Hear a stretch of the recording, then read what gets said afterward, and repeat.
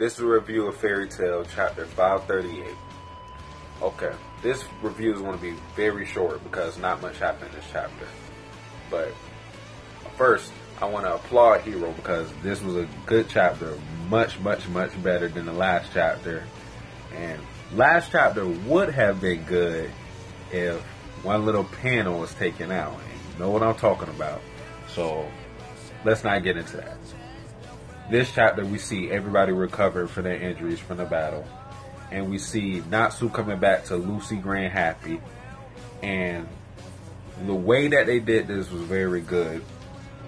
They show Lucy and Happy talking, and then while they're on their way to go back to, you know, regroup with all the other guild members, they they're talking, and Natsu says we should make a um, a grand entrance to, you know, regroup with everybody, and Happy and Lucy are talking, and then they look back because Natsu was walking behind them, then he's just gone. Now, the when Lucy was rewriting a book and her scars disappeared, the book ended up disappearing, and we know if Zeref dies, if the book is gone, then Natsu should die. So, our assumption is Natsu is dead. Given Fairy, Fairy Tail's track record, that assumption would be wrong. But we want to give Hiro the benefit of the doubt and say Natsu is dead. So we're going to assume Natsu is dead, okay?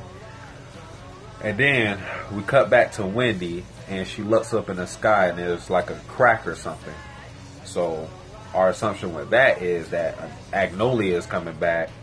Hopefully, with eight chapters left, you know, we get an actual good battle because right now everybody, everybody in Fairy Tail is injured. Everybody. So I have no idea, you know, who can take him out if he ends up coming back. Well, let's not put it. It's it's it's Agnolia coming back because what what else could they do at this point? So, you know, I have I have no idea if my my my assumption is Natsu's going to come to fight Agnolia that would be the logical thing at this point, but I don't know how they're going to do that. You know, maybe Natsu fights Agnolia and then after that battle he dies.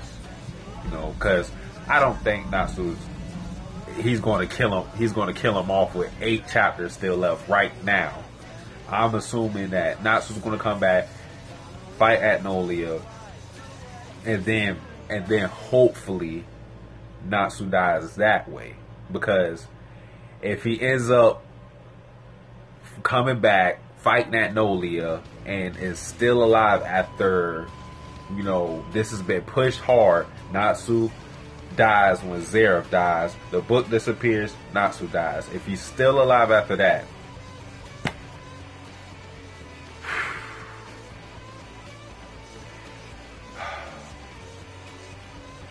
well, that's going to be the end of the review. If you like this video, like, comment, subscribe. Satsuki the Savage. I'm out.